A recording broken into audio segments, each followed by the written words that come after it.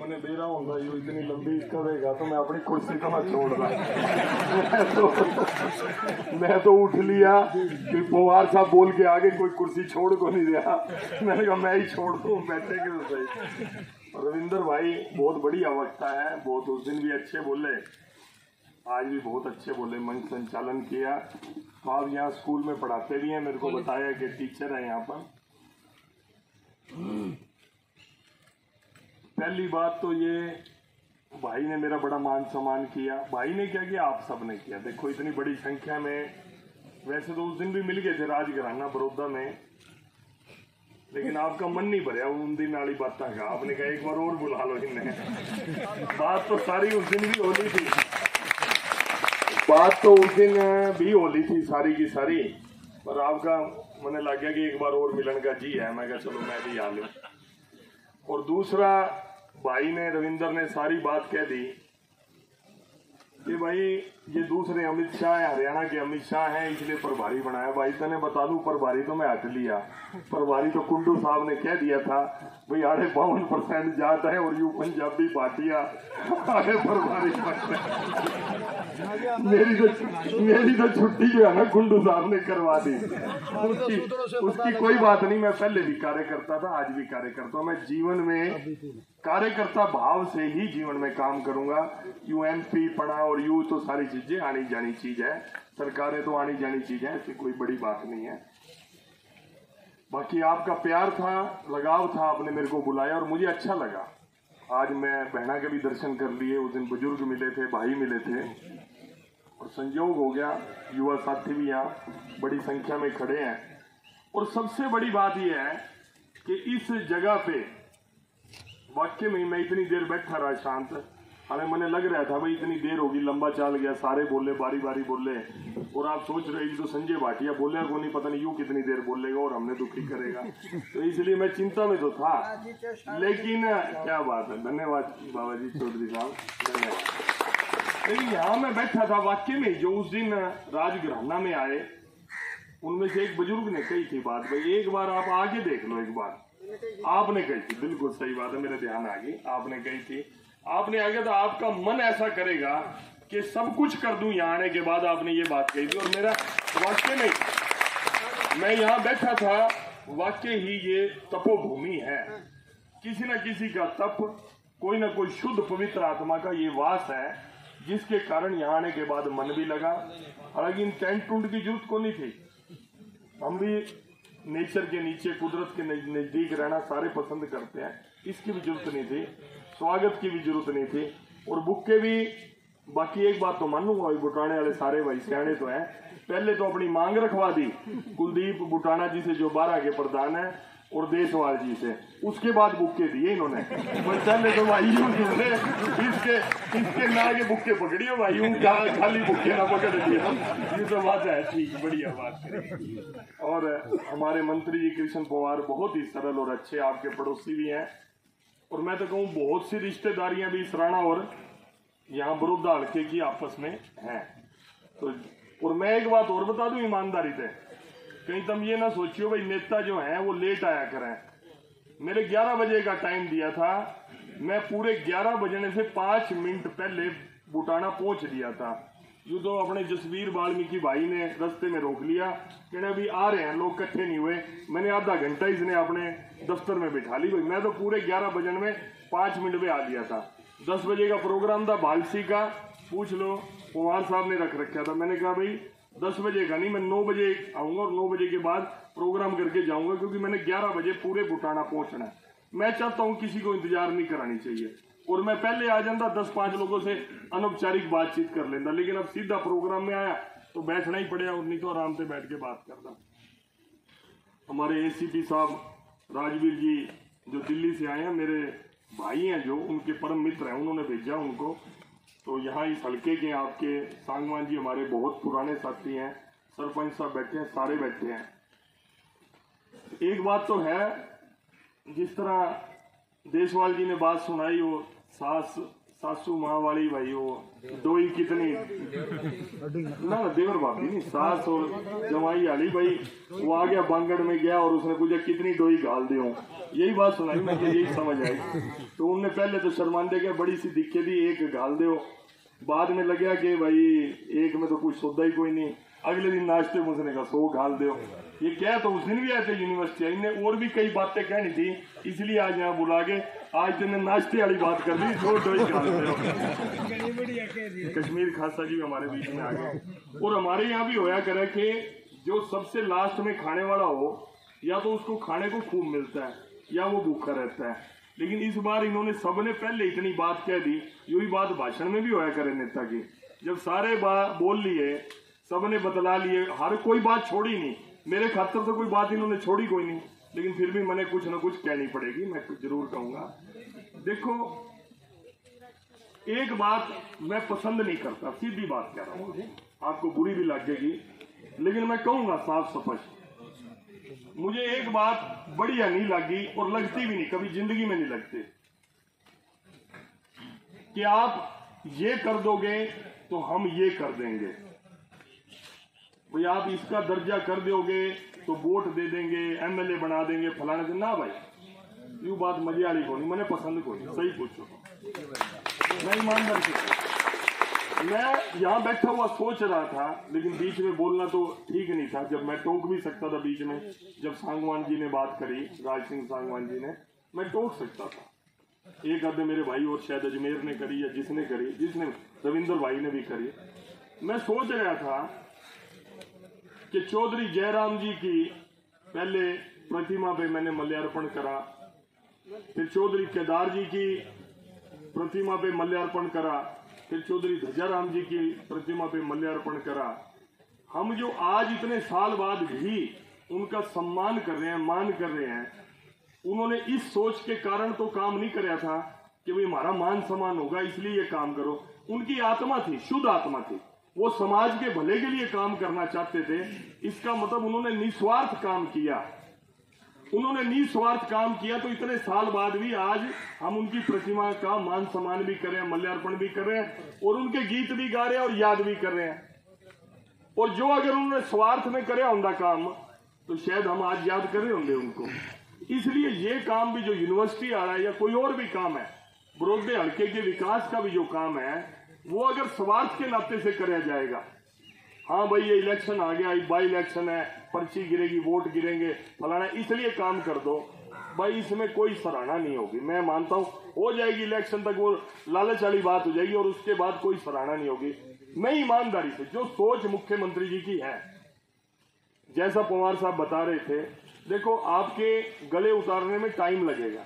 तो जितना आप उनमें बरतोगे, बीच में आएगा, जाएगा, बतलाएगा ये मैंने कोई जाने था संजय भाटिया ने ये बात बड़ौदा हल्के में कहीं चले जाओ हालाँकि वो बात मैंने कुंडू साहब वाली तो मज़ाक में कही लेकिन सच्चाई वाली बात यह है कि आप कहीं चले जाओ जिक्रा चाल जाता भी यार वो ठीक है लड़का संजय बढ़िया है सुनता भी है बात भी करता है ये क्या चीज़ है यही इंसानियत है और निस्वार्थ भाव है तू किसी के विरोध में कुछ भी बोले जाओ करे जाओ यही बात मैं कहता हूँ हम तो कुछ भी नहीं मैं तो अगर ईमानदारी की बात सोचो तो मुख्यमंत्री मनोहर लाल के मुकाबले में सोवे हिस्से में नहीं हो। कई बार यू मैंने भी मुख्यमंत्री बना दे, दूसरा मुख्यमंत्री बना दे। यू मेरी जो नौकरी मिल रही है इन्हें भी खो देंगे।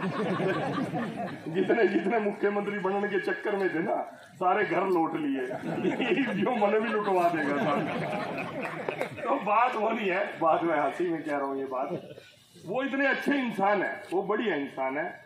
और कई बार कहने लगी बड़ौदा और भैंसवाल के दो कॉलेज दे दिए, क्यों इलेक्शन आ गए थे? भाई वो दे दिए पंद्रह किलोमीटर के अंदर। पंद्रह किलोमीटर के घेरे में पूरे हरियाणा में कॉलेज होने चाहिए। पहले बीस का था, फिर पंद्रह का हो गया। उस चक्कर में ग्यारह कॉलेज अभी उन्होंने इकट्ठे उद्घाटन करे। पचासी पहले कर रखे थे। छियानवे कॉलेज उन्होंने पूरे छह साल के अंदर पूरे हरियाणा में छियानवे कॉलेज दिए। और पिछले दस बारह साल में देख लो तो पचहत्तर कॉलेज थे। उसका चलो मैं कंपैरिजन भी नहीं करता, किसी की बुराई भी नहीं करता। जिसने जो करा अपने लिए करा, समाज के लिए करा, उतनी उसकी सराहना होती है। लेकिन एक बात की मैं स्वीकार करता हूँ, ईमानदारी से। उसमें हमारी कमी भी ला लियो मैं सारी कमी विपक्ष की लगा दूँ, कर दूँ, ये तो भाषण सुन सुन के सबके कान पक लिए होंगे। जो भी आवे, दूसरी पार्टी ने गाल दे रहा है। लेकिन मैं वो काम नहीं करता, ना मेरे स्वभाव में है। और सारी पार्टी वाले नेताओं के साथ मेरा प्रेम भी बहुत है। मैं लाड भी करूँ, हँसी मज़ाक भी करूँ उनसे सारी बात कह लिया करूँ। मैं कोई, मेरे को किसी, वो अपनी विचार के साथ है। मैं तो कई बार कहता हूँ। मैं कई बार दीपेंद्र हुड्डा के, दीपेंद्र हुड्डा जी के बारे में कोई पत्रकार पूछने लग जाता है। मैं कहता हूँ, यार, मैंने तो बढ़िया लागे ठीक आदमी है, कोई गलत तो है नहीं। बढ़िया विचार का ठीक है। उसका मेरा एक फ़र्क है भाई। वो जिस तरह हम मोदी जी ने पसंद करें, वो राहुल ने पसंद करें। इसलिए वो राहुल की विचारधारा के साथ है, हम मोदी वाली विचारधारा के साथ है। इतना फ़र्क है। वो अपने विचार के साथ है, हम अपने विचार के साथ है। अपनी अपनी पसंद होया करें। और कोई फ़र्क नहीं, वो भी बड़ी आदमी मेरे से भी बड़ी है। मैं तो हमेशा यही बात कहता हूँ। रोड़ा विचारधारा का और चार दिन का इलेक्शन का है। बाकी तो सब परिवार, छत्तीस बरादरी समाज जो परमात्मा ने बनाई, वो मानव जाति सब एक ही है। और जो धर्म सबका बनता है, वो इंसानियत का बनता है। दूसरे के लिए प्रेम रखना, दूसरे के लिए आदर भाव रखना। अभी हम देखते हैं छोटी छोटी बातों पे सगे भाई आपस में लड़ रहे हैं, चाचा ताऊ के लड़ रहे हैं। फिर वहाँ तो बरादरी वाला रोड़ा भी को नहीं, कोई और रोड़ा भी नहीं। फिर वहाँ नफरत क्यों बन जाती है? तो इसलिए इंसानियत का धर्म सबसे बढ़िया है। हम सब मिलके चुनाव में भाई आपने लगे, आपको विश्वास बन जाए, उम्मीद बन जाए कि भाई यार इस बार इन्हें मौका दे दें, संजय ने मौका दे दें या बीजेपी ने मौका दे दें तो चार ईंट फालतू लग जाएँगी, काम अच्छे हो जाएँगे। ये कोई सरकार बनाने वाला रोड़ा नहीं और ना मैं ये आज पॉलिटिकल भाषण देना चाहता हूँ। मेरे एक भाई ने बीच में बात करी कुमार साहब ने करी। उन्होंने कहा, भाई जब तक कोई और एमएलए नहीं बनता, मुख्यमंत्री जी ने ये बात कही है कि भाई मैं बड़ौदा का एमएलए बन के काम करूँगा। ये बात उनने कही है। तो भाई पवार साहब, ये तो सारे के सारे कह देंगे, इनने और क्या चाहिए? इन्हें एमएलए की क्या ज़रूरत है? जब इन्हें पला पलाया, मुख्यमंत्री मिल गए इन्हें क्या चाहिए? तो हम तो दो तीन साल और इलेक्शन में करवाओ। ये तो राज़ी है इनमें क्या दिक्कत है? तो वो पला पलाया, कमाऊ बेटा मिल जाए तो और क्या ज़रूरत है? तो दूसरी बात, एक बात ईमानदारी से कहूँगा मैंने मुख्यमंत्री से चर्चा करी, जब मेरी ड्यूटी लगी तो मैंने चर्चा करी, जी, मैं कहा, जी, देखो, सही पूछो तो। मैं रोज हज़ार बारह सौ, पंद्रह सौ लोगों से मिलता हूँ। आप कई बार राजघराना में आ जाओ या पहले रेस्ट हाउस में बैठता था। पानी रुकते थे, लोग बहुत आते थे, अपनी समस्या भी लेके आते थे। मैं सुनता भी था, बड़े ध्यान से समझता भी था। और मैंने जच की, भाई और इतना पूरा हरियाणा बड़ा है, लेकिन यहाँ कोई देखो, कोई तो सड़क ठीक नहीं। पानी की निकास को नहीं, पीने का पानी भी ठीक नहीं। अरे तो कह रहे, चलो, यहाँ पे इस परिसर में तो मीठा पानी है। बड़ौदा हल्के के कई गाँव में पीने का पानी भी मीठा नहीं। तो मैंने आरओ की भी बात करी, सारी बात करी, और सही बात है कि किसी भी समाज की तरक्की, किसी भी क्षेत्र की तरक्की, वहाँ पर जो शिक्षा संस्थान है, उन्हीं के हिसाब से आंकी जाती है। अब यहाँ के बच्चों को जाकर जो पढ़ने के लायक है, दूर जाना पड़ता है। लेकिन गरीब अपना बच्चा कैसे दूर पढ़ने के लिए भेजेगा? हॉस्टल का भी खर्चा है, रोटियाँ का भी खर्चा है जान आने का भी खर्चा है, हर चीज़ का खर्चा है। अगर शिक्षण संस्थान अगर यहाँ पे यहाँ पे सौभाग्य से यहाँ पर शिक्षण संस्थान है, इसको अगर अपग्रेड कर दिया जाए, इसको बड़ा कर दिया जाए यूनिवर्सिटी का दर्जा दे दो एडिड कॉलेज का दर्जा दे दो। मैं बहुत ज़्यादा एजुकेशन के बारे में इसलिए भी नहीं जानता, मैं सिंपल ग्रेजुएट हूँ, लेकिन अपने तजर्बे से बता रहा हूँ। मैंने उस दिन भी कही कि पाँच आदमी जो लायक पढ़ने वाले हैं, अभी प्रिंसिपल साहब यहाँ बैठे थे, एक अपने मास्टर जी हैं, ये भी लायक हैं, और पाँच चार आदमी जुड़ जाए यूनिवर्सिटी के लिए जो फॉर्मेलिटी है। क्योंकि मैंने उस दिन भी पूछा। मैं कहा, आपने खाली ये बात मांग रखी है हर बार, या कहीं अप्लाई भी करा यूनिवर्सिटी के लिए? यूनिवर्सिटी के लिए अप्लाई करना पड़ता है। उसकी जो नॉर्म्स है, वो सारी पूरी करनी पड़ती है। अगर हम मन भी बना ले, मान लो सरकार मन भी बना ले, लेकिन फ़ाइल तो जमा करानी पड़ेगी। वो तो सर वो आपने करवाई है फ़ाइल? नहीं अभी कराई नहीं है जी करा देंगे। तो करवा वो करवा देनी चाहिए। वो करवा करवा देंगे यूनिवर्सिटी एक्ट में होगी। यूनिवर्सिटी एक्ट में जो भी है जी जी जी। ठीक है ना? अगर आपने करवा दी वो स्टेट गवर्नमेंट भी उसके अंदर रहती है जो हमारा सेंट्रल गवर्नमेंट का डिपार्टमेंट है जिनके मंत्री रमेश पोखरियाल जी जी हैं तो वो उससे भी रहता है और गवर्नर का भी सीधा सीधा उसके अंदर एम एच आर डी हाँ एम तो वो सारा का सारा दखल रहता है आपके अंदर पढ़े लिखे डॉक्टर सांगवान जी भी हैं। और थोड़ा सा मुझे पहले आगे कईयों ने बताया भी सही। जी, आपस का मामला है जी, कुछ एक धड़ा वैसे है, वैसे। कुछ आगे वो बात भी बता के थोड़ा डरान भी लग जाए। पर मैंने पता लगा पहले अपने प्रधान सतपाल जी थे। पता नहीं आज वो आए हैं कि नहीं आए।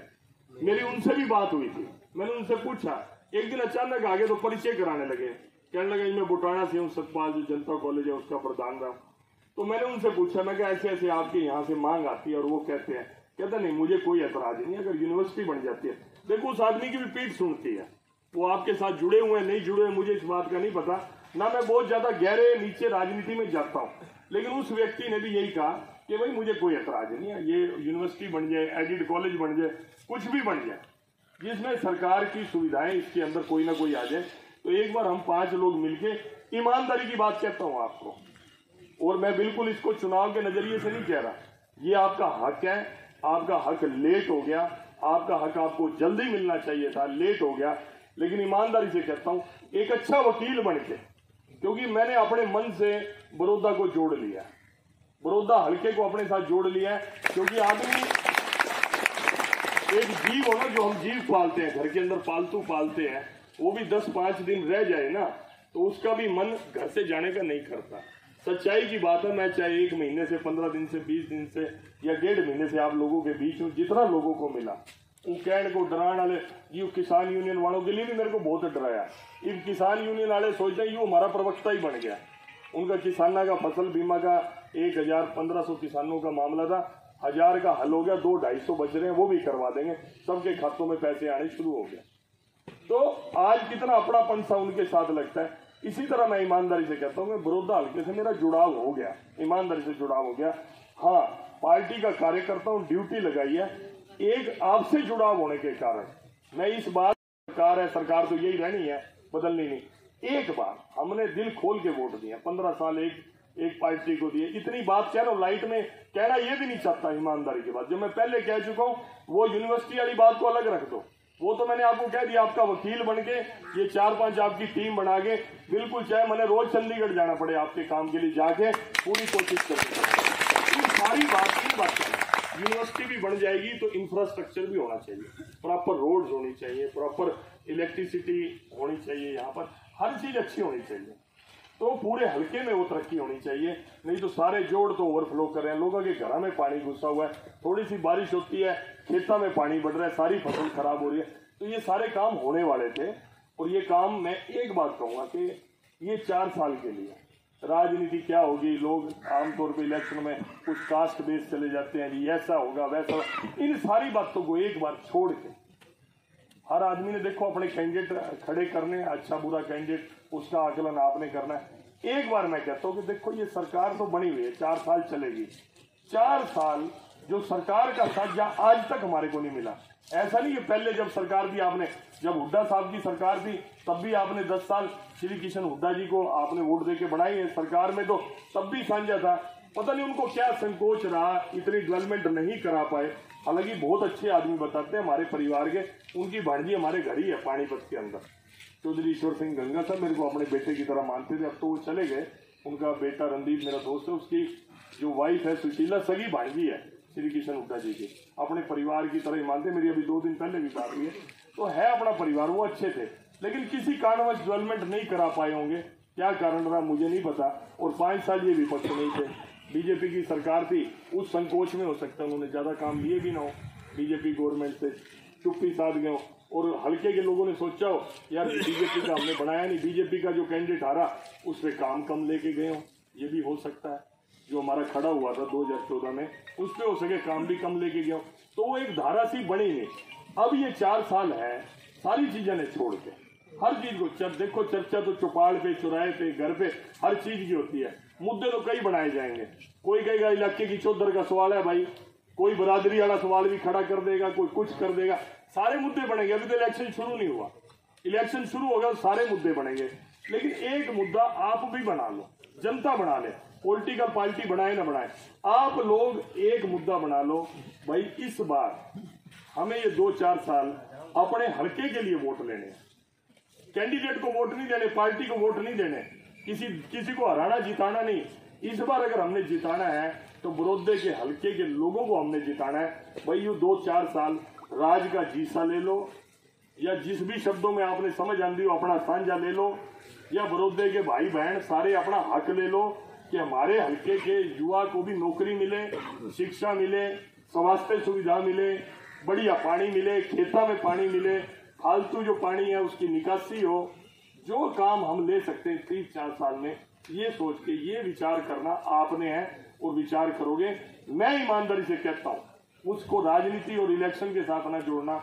ये जनता कॉलेज की, जनता यूनिवर्सिटी बने।